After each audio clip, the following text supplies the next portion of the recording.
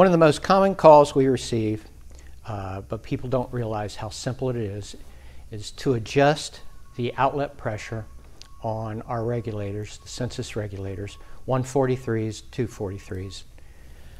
So today I'm going to demonstrate how simple it is to adjust that uh, outlet pressure.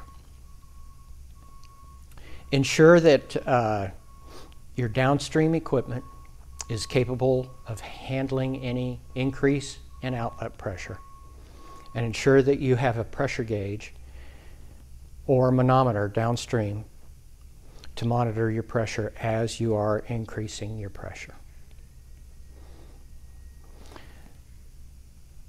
The pressure range should be stamped or otherwise note, noted on the regulator, so be sure to note that before you try changing pressure. The tools we'll be using for the 143 is a screwdriver or a bolt head that is 7 16ths in size. We've already removed the dust cap. The next step is to make sure that you have the proper spring uh, installed. So we're going to remove this spring adjustment button.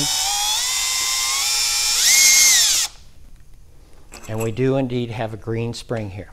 The green spring will give us 6 inches to 14 inches of water column out. Okay, So we're going to reinstall that spring, make sure it is seated properly in the bottom, and reinstall our spring adjustment button.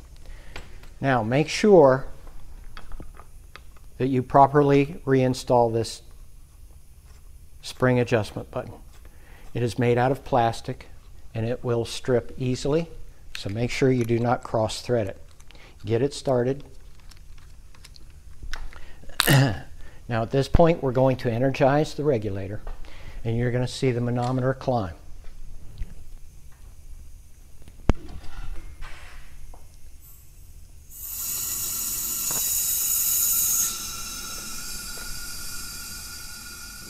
So you can see we're currently running at about 7 inches of water column.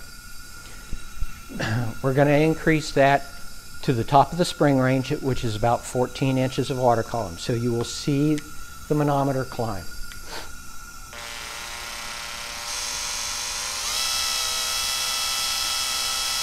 Now as we're screwing in the adjustment button, you can see that the pressure is climbing.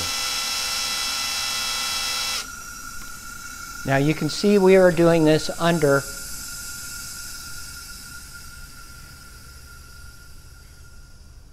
running conditions. You do not want to do this under static conditions. You will get a false reading of your outlet pressure. So make sure that you are under flowing conditions, okay?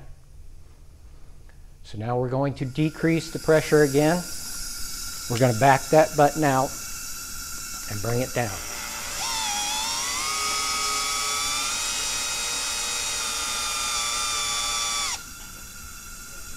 And you can see how that is. As we stop the gas flow, you can see that you will climb just slightly. and that will uh, give you your lock off and show you that the regulator is actually locking off uh, under static conditions and it is not venting.